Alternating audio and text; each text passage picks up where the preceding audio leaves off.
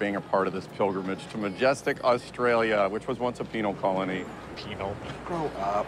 This place was really special to my mom. She actually left me a list of things that she thought we should do. Visit the Great Barrier Reef, see the bush, Really? and climb the Sydney Harbor Bridge. What do you say, mates? I'm sorry, honey, but you know how I am with heights. Ah, is that why you never wear high heels?